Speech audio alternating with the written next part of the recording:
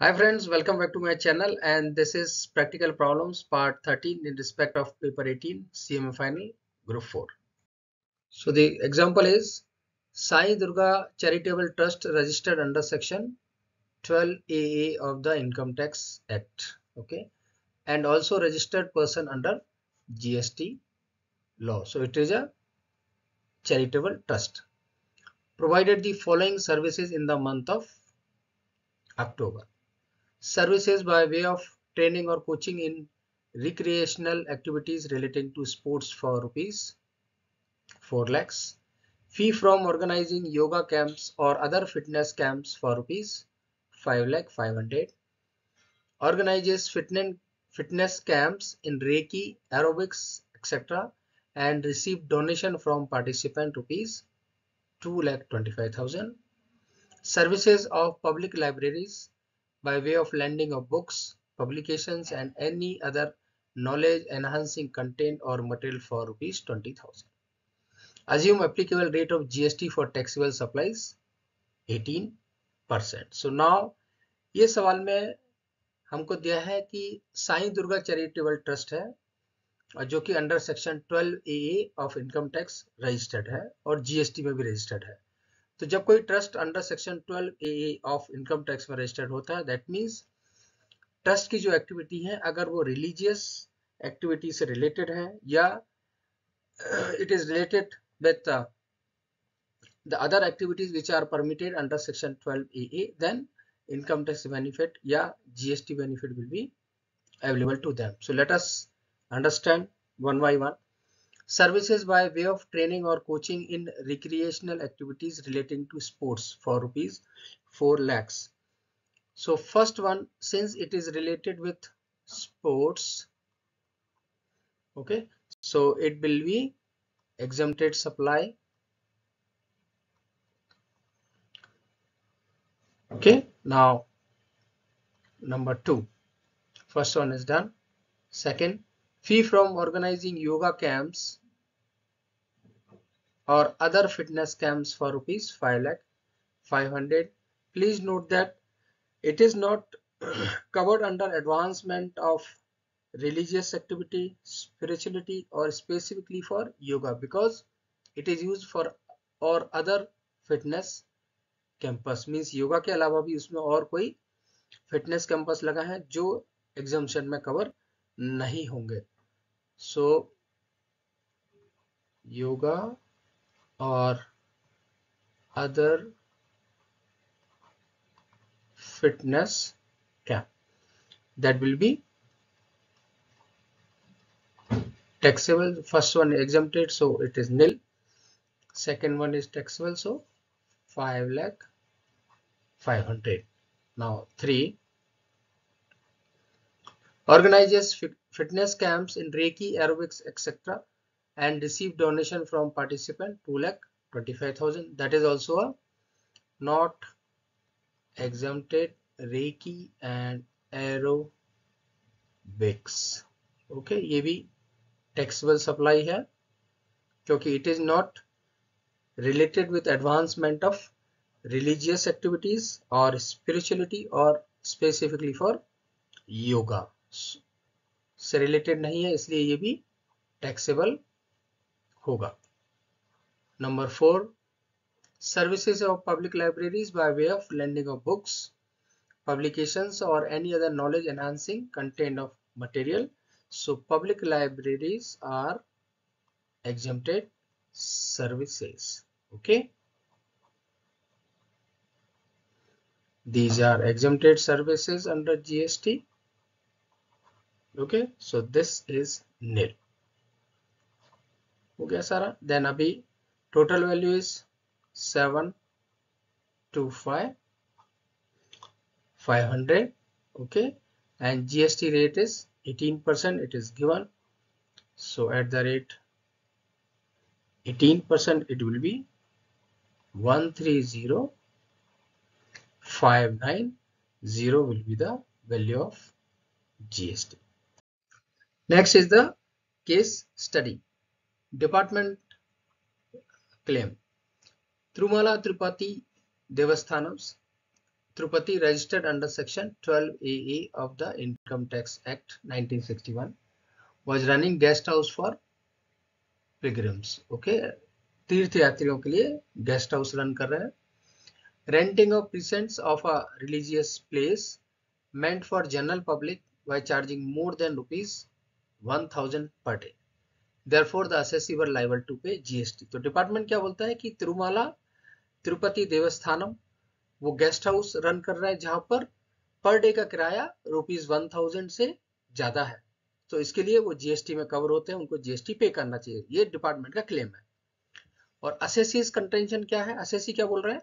Since they're running a guest house without any profit motive and hence they were not liable to pay GST तो assessee क्या बोल रहे हैं कि हम कोई प्रॉफिट कमाने के लिए वो गेस्ट हाउस नहीं चला रहे हैं हम सिर्फ़ तीर्थ यात्रियों के लिए ये फैसिलिटी प्रोवाइड कर रहे हैं जहाँ पर चार्जेस रुपीज़ एक हज़ार या वन थाउज़ेंड रुपीज़ से ज़्यादा है इसलिए since there is no profit motive and hence they were not liable to pay GST. So decide the case whether assessee's contention is right or department claim is justifiable.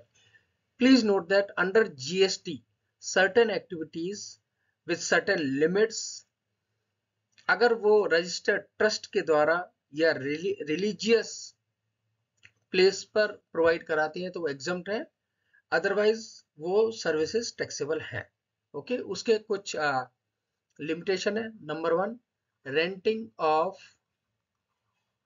renting of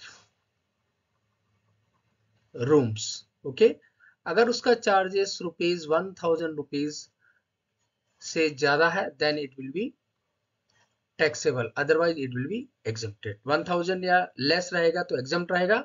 1000 से ज़्यादा रहेगा per day तो then it will be taxable now दूसरा है renting of renting of open space open space oblique community hall etcetera where charges are rupees 10,000 per day 10,000 per day रहेगा या उससे ज़्यादा तो it will be a taxable supply and number three renting of shop renting of shop okay or other space other space for business or commercial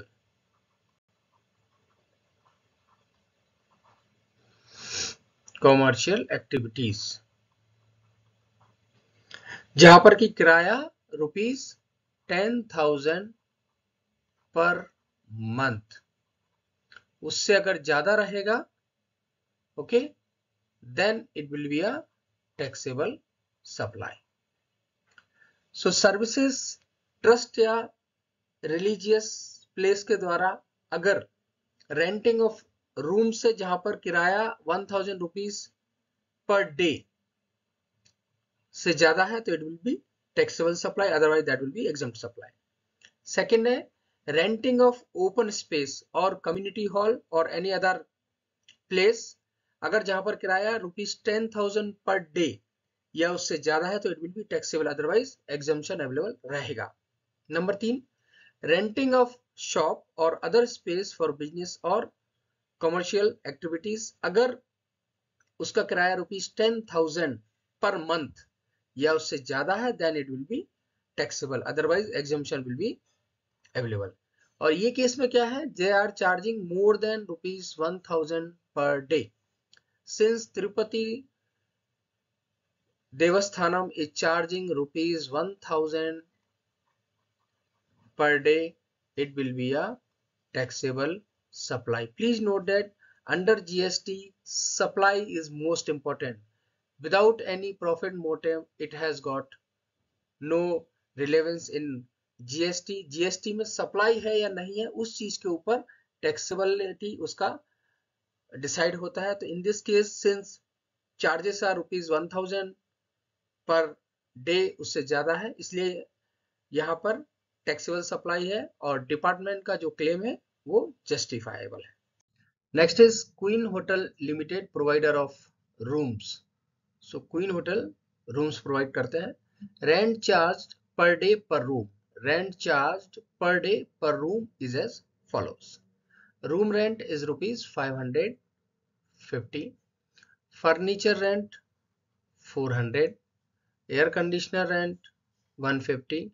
Refrigerator rent 50. Discount 50. Net amount charge is 1100 okay so please note that the principal supply is sub supply of room okay service room service वो दे रहा है।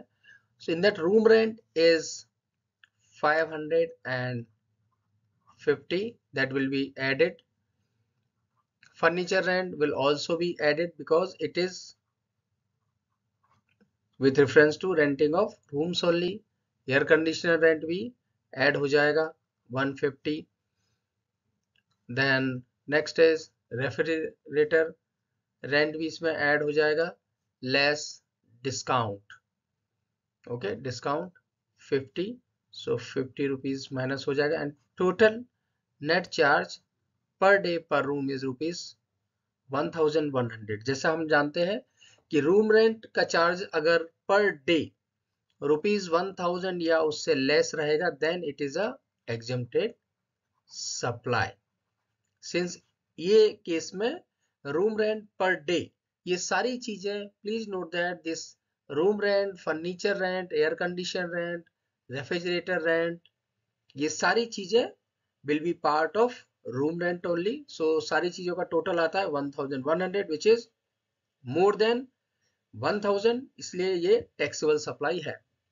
During the month of October 2020 we can take a 2020 or whatever 20 rooms were let out throughout the month. So october is 31 so 20 rooms into 31 days into 1100 okay? So this will be your 6 lakhs 80 6 lakhs 82,000 and balance 35 rooms were let out only for 15 days. Okay? So 15 days okay into 35 rooms into 1100 so this will be 577 500 and total taxable service will be 1259500 okay? The ITC input tax credit available है 7500 rupees.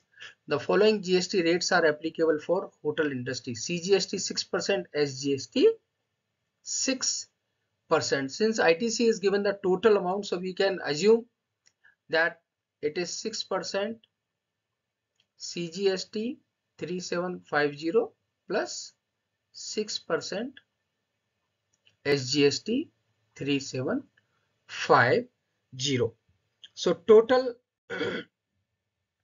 taxable value taxable supply कितना हो गया? One two five nine five hundred and six percent is C G S T six percent C G S T so it is seven five five seven 0 and 6% SGST. So 75570. So this is their output tax liability. Now net tax liability.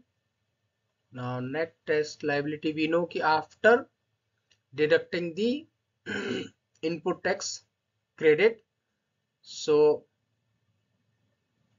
C G S T का liability कितना है C G S T का liability है seven five five seventy S G S T का liability है seven five five seventy last I I T C three seven five zero and three seven five zero so net output GST liability will be CGST 71820 and SGST will be 71820 next is is hostel accommodation provided by trust okay to students covered within the definition of charitable activities and thus exempt under serial number 1 of notification number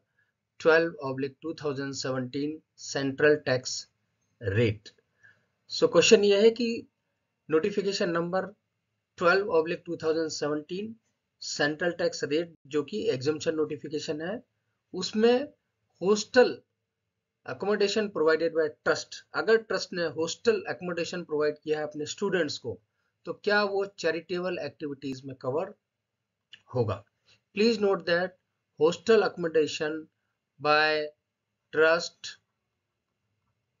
okay will not be covered under charitable activities so charitable activities में hostel service cover नहीं है। भले ही वो trust ने अपने students को provide किया। However exemption will be available अगर room rent rupees one thousand per day से अगर ज़्यादा नहीं है one thousand rupees per day से ज़्यादा नहीं है then exemption will be available होगा। अगर room rent is more than 1000 then it will be a